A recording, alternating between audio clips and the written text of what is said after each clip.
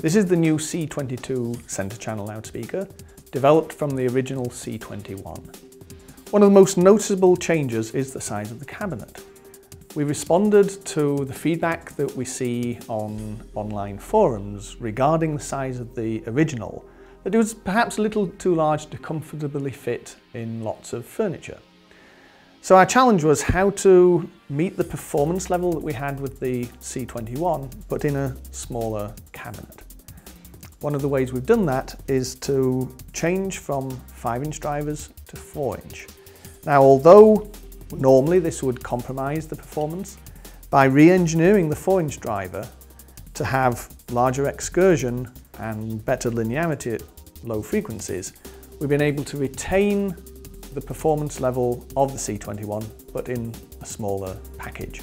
So it's twin 4-inch drivers with the same structured surface cone material as we use across the whole range, the same stiff dust cap, the same vented pole at the rear to reduce pressure buildup under the dust cap, and the lowered suspension resonance frequency.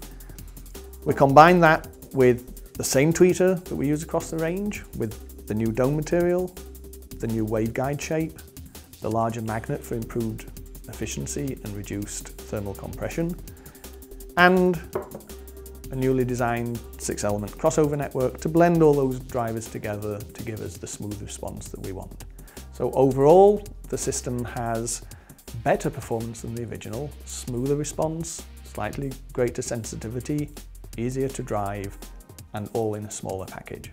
The result of all these changes and in particular with the development of the new drive units for the centre channel, give much greater vocal clarity, which makes it ideal as a centre channel in a home theatre system, so that you never miss a moment of the dialogue.